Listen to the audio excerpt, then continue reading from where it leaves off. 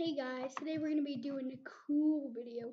We're going to be tricking your friends into thinking you have millions and millions of subs.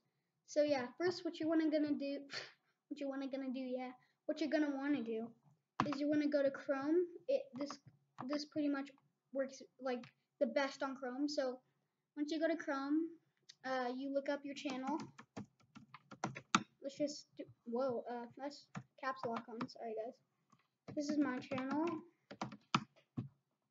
Okay, once you go in, oh, wrong one, whatever. You just look it up, Instagamer 101, and then once you go here, you click on your channel, your own channel. You, you see all your stuff. Now, uh, you go to the sub count, you your two fingers, and you click, click on the sub count. Wait, if it, if it works.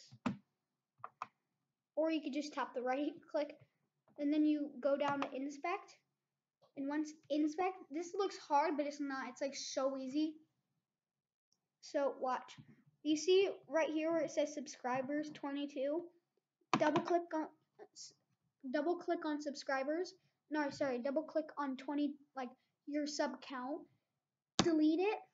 And then let's just put in 540,798. You can I said millions, you can have millions. You can have anything. And now look at my sub count. you can do this for anything. You can change names. You can change your YouTube name. You can change your views. But when you reload this, it, everything disappears. Uh, see, watch. I'll prove that you can put anything. Watch. See, I put hi. now let's put how many views I got on this video. Four. Now let's see how much it, it will be in a second. Um, 999,999. Oh, I forgot the views. Oh, caps lock again. View, oh. Views. hey guys, look how much views I got on a video.